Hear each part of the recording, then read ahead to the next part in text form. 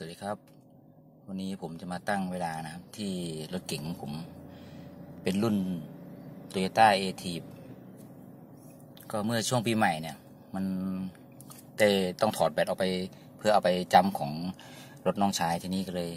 เวลาเลยคาดเคลื่อน ตอนนี้มัน เวลามันตีสี่สองนาทีนะครับ แต่เวลาจริงๆเนี่ย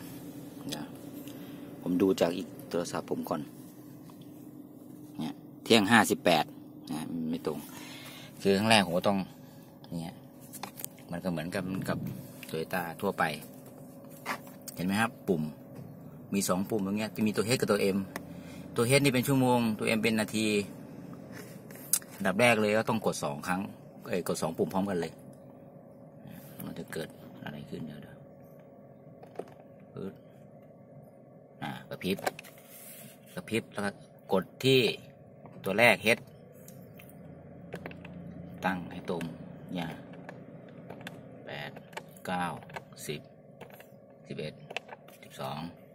เที่ยง เรามากดตัวนาทีนาทีนี่ เดี๋ยวดูเวลาก่อนนะ นาทีห้าสิบเก้าละทันไหมเนี่ย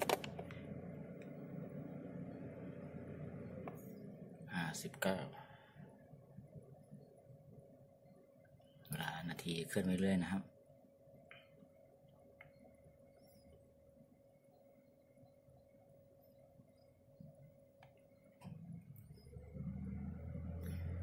ขออภัยนะถ้าเกิดมัน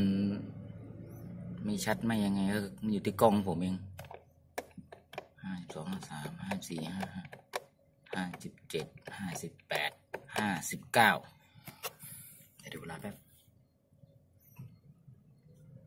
แช่งห้าสิบเก้านะครับ อ่าโอเคแช่งห้าสิบเก้าแล้วตอนนี้ ก็เป็นอันเสร็จนะฮะ ขอบคุณครับที่รับชม ถ้าเกิดชอบก็กดไลค์ครับ กดไลค์กดแชร์ให้หน่อยนะครับ โอเค สวัสดีครับ